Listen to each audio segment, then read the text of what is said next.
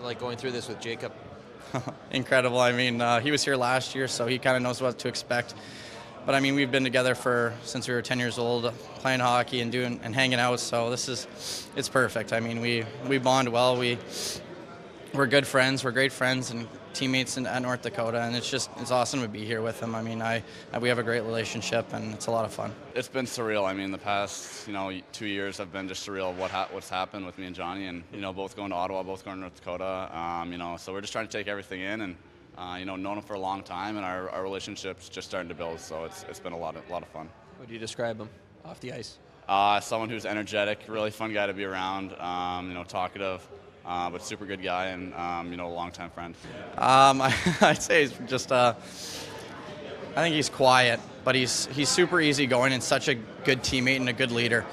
I think he like he's he's just smart in the way he goes about things. He's really like even keel, and I'm more of a person that's kind of go go go, and he's just the kind of the, the laid back type of person. So he's good to kind of just calm down, kind of realize what he's doing, you know, and calm down. So I think that he really helps me as a friend, and he's a he's a great roommate at, at school as well.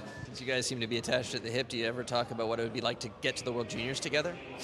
We haven't really brought that up. I think that's something we're, we're trying to just uh, take day by day here and uh, you know try to leave an impression on the coaching staff and, and all the players here. And uh, you know if that happens, it'd be super cool. But I think it's something we're, uh, we're just leaving alone for now.